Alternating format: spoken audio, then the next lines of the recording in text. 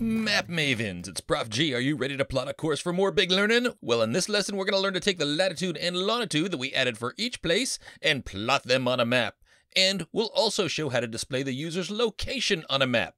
So let's chart our course to Swiftiness. So Swifter, here's a quick look at the steps that we're going to be using to set up a map in SwiftUI. We're going to import MapKit. We're going to create a region, which is of type MK coordinate region, and a region defines the center as well as the scale of the map. Now we'll also set up an array of annotations or points that can be plotted on the map, and pretty much any data model can be used as an annotation if it's identifiable, it has an ID property, and it has a coordinate value which is of type CL location coordinate 2D, which provides access to a latitude and a longitude.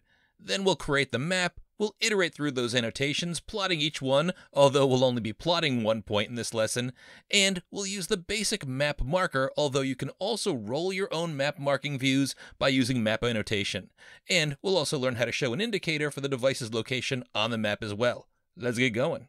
So, Swifters, we're going to add our map in the spot detail view, so make sure you're in that file. And we'd like to add our map below our text fields, just above the spacer here, but before we can do that, we've got to import MapKit.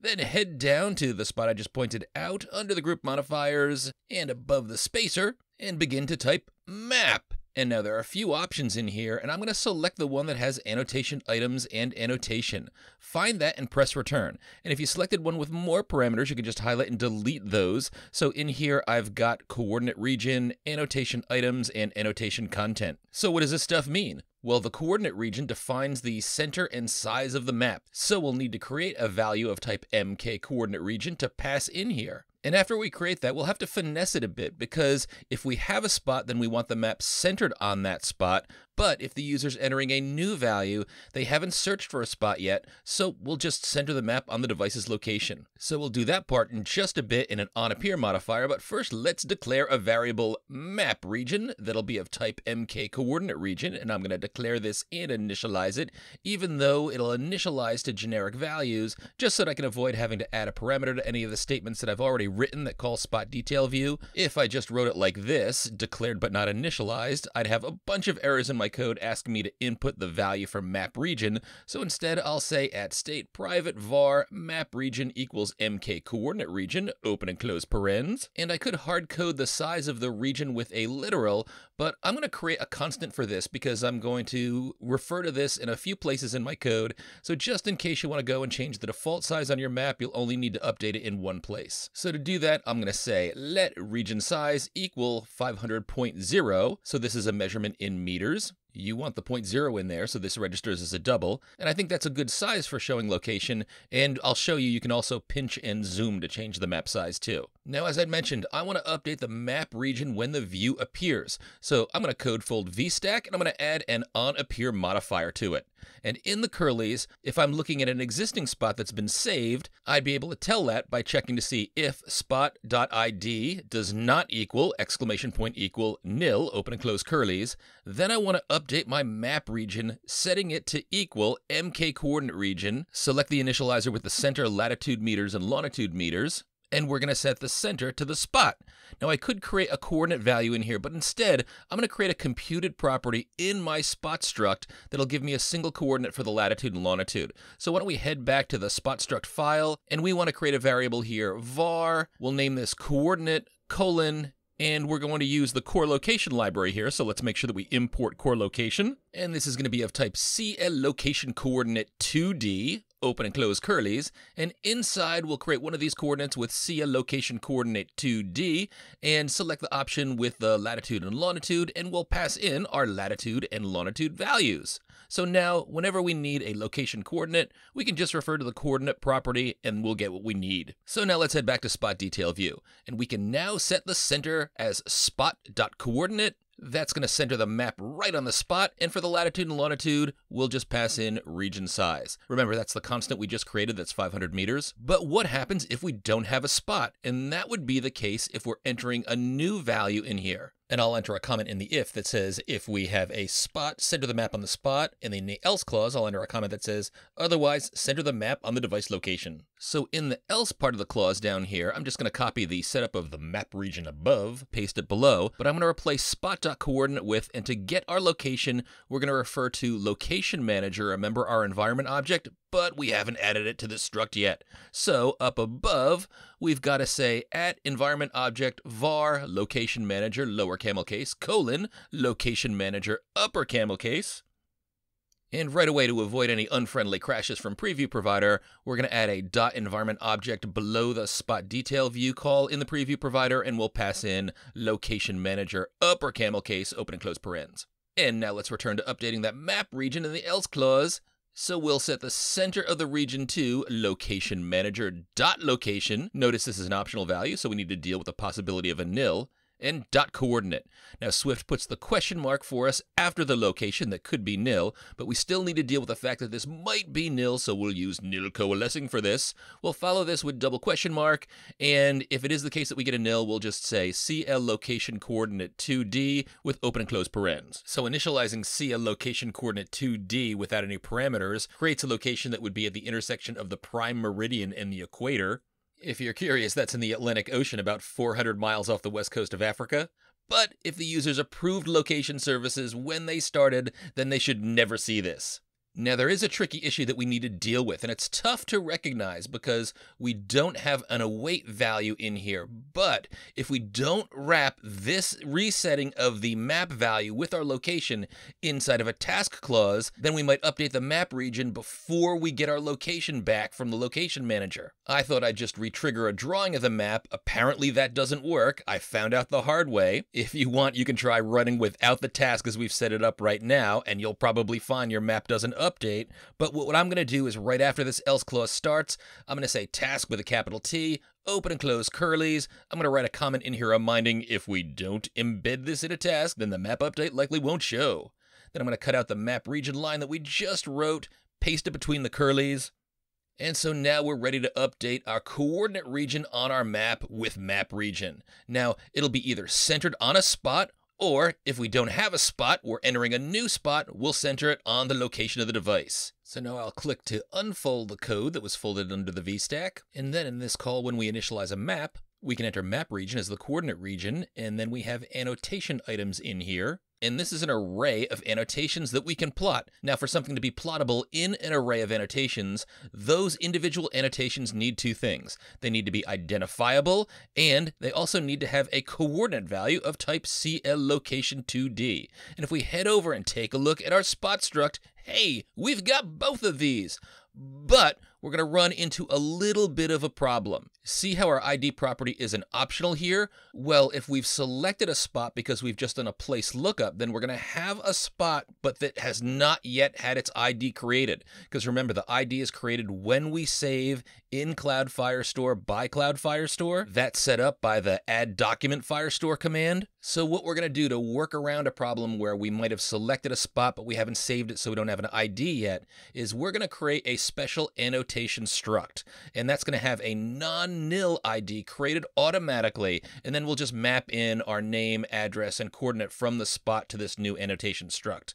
Now, it's a few more extra steps, it's a little bit more code, but this is what we need to do given how we've set things up in Firebase. So back in our spot detail view, this struct is sort of a model, and I could separate this out in a separate model file, but since I'm only using this in this particular view here, this is the only one with a map, I think it's totally fine to put it right in here. So under the struct definition, I'll say struct annotation capital A, remember we're creating a type here, colon, it has to be identifiable, open and close curlies. And then we'll add the properties. Let ID equals UUID, open and close parens, dot UUID string, var name colon string, var address colon string, and var coordinate colon CL location coordinate 2D. And now let's create a variable that's going to hold an array of this struct. So we'll say at state private var annotations, lowercase a, colon, in square brackets, capital A annotation, singular, equals empty square brackets. So we've got an empty array of annotation structs called annotations. And now in onAppear, we also want to initialize this array of annotations. Now we only have one element in our array,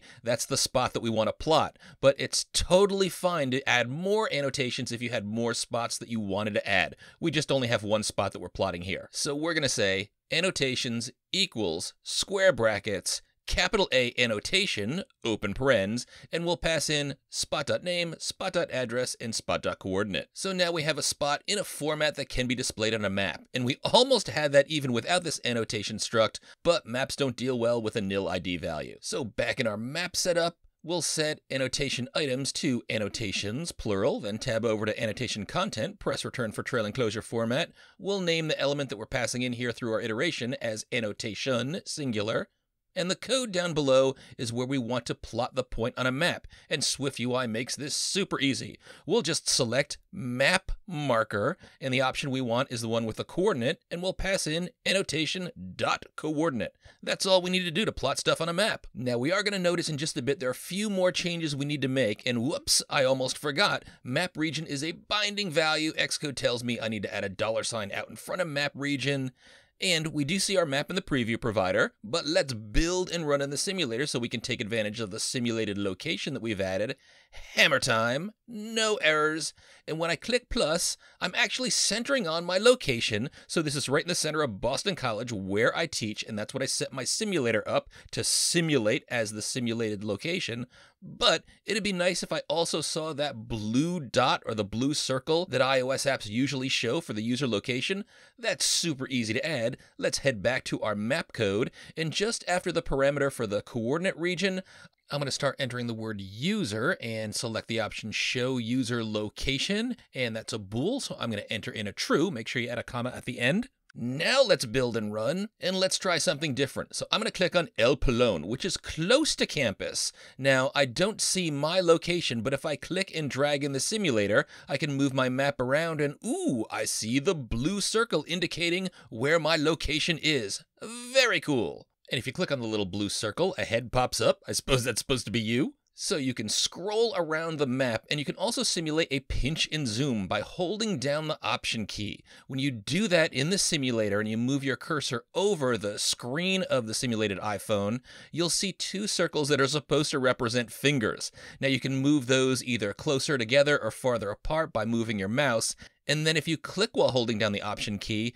this acts as if those two fingers are down so you can move the mouse to pinch and zoom. Now I found that a little bit awkward, but in a recent update to Xcode, Apple added the fact that if you double click but keep the mouse held down after the second click, then you can scroll down or scroll up to zoom out or zoom in. Also, very handy. So feel free to go back and check out other locations. They all center perfectly on that particular location. We do that in onAppear. When we find a spot, we update the region so that it centers on that spot's coordinates. And we update the annotations so that that spot is plotted with a marker. But what happens if we click on plus now? Nice! We see the blue circle right where the device location is being simulated and with the map centered on that spot. And you see the Schiller Institute for Integrated Science and Society at Boston College, which is named after Phil Schiller, the former senior vice president of worldwide marketing at Apple, who was on stage with Steve Jobs and Tim Cook for most iPhone introductions. Phil has had my students and me out for many Apple product introductions, including the launch of the original iPhone. It was awesome. Now we have one issue to address. If I search on a location, I'll do my place by the sea in Rockport, Mass. And if I click on that, oh, we didn't update the map to reflect the change. Now, what we want to do is when a spot has changed, we should update the annotations and we should recenter the map on the region that we selected. And that's pretty easy to do. So right under the map, we're going to add an on change modifier. And the value that we're watching for a change is going to be spot. And we can tab over and press return for the trailing closure.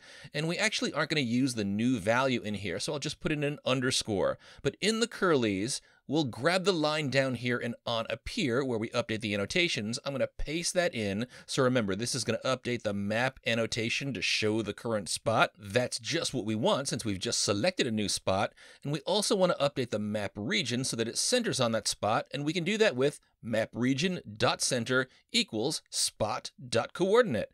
and we're almost there, but Xcode says that we can't use onChange on a struct that doesn't conform to equatable. So we're trying to see if our spot has changed. We simply need to conform the spot struct to equatable. This is pretty easy to do. We can just head to the file where we've defined spot. Right after codable, we can say comma equatable. Now, in some circumstances, you might have to create a function to say how items can be distinguished if they're equal to one another or not, but Xcode doesn't need that here. It has enough information based on the values that are passed in so that it can tell if values are equal. So we're going to head back to the spot detail view, the errors go away, build and run, Hammer time! We're logged in. We see all of the locations if we click on them. El Pelon still has our device location. We can swipe around. What if we click back on plus? We see the device's location centered, all as we had it before. But now let's click on lookup place. I'm going to look up my place by the sea. I'll click on that. And ho oh, ho, nice! We see the very romantic seaside setting on our map. You can scroll around here. I'm to save this one. That is definitely a keeper. So, Swifter, we've got some sweet map updates in here. Feel good about the direction of your skill set. And as always, continue to hack. There's more to come.